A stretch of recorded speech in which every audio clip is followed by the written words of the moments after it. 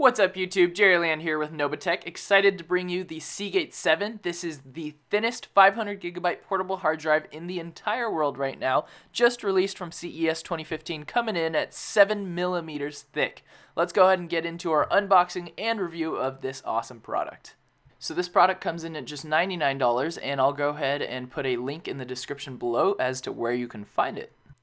Alright, so opening up the box, we see first here we have a threaded micro USB 3.0 cable that acts as both the power and data transfer cable. I do like the quality of this cable a lot. This threaded cable feels like it's not going to break on me and it's actually going to be pretty tangle free as well, so that's definitely nice. Next up, of course, we have our actual Seagate 7 drive. You see the HDD 500 gigabytes. We'll take a look at that in a little bit. And of course, lastly, we have our user slash instruction manual that, again, we probably don't need.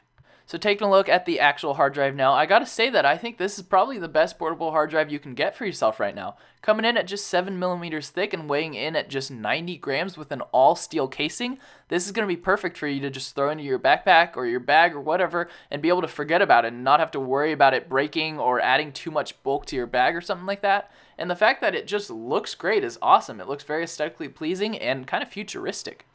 Just so you have an idea, I wanted to show you that the cable is just about over a foot, and the Seagate 7 comes in at about 5 inches by 3 inches.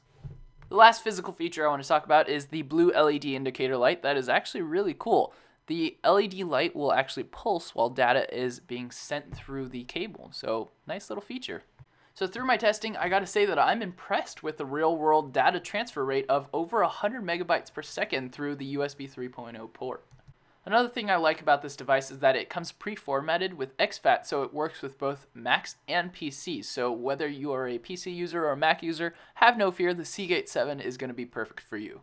So last thing I want to mention is that this hard drive is not for everybody. If you're the type of person that's looking for a thin, lightweight hard drive that'll really catch someone's eye, then this is going to be perfect for you. But if you're the type of person that's looking for something cheaper with more storage and you really don't care about bulk, then there's plenty of options for you as well. Thank you so much for watching. My name is Jerry Lan with Nobatech, and this has been my review of the Seagate 7. Don't forget to click that subscribe button below and hit that like button as well. Have a great day.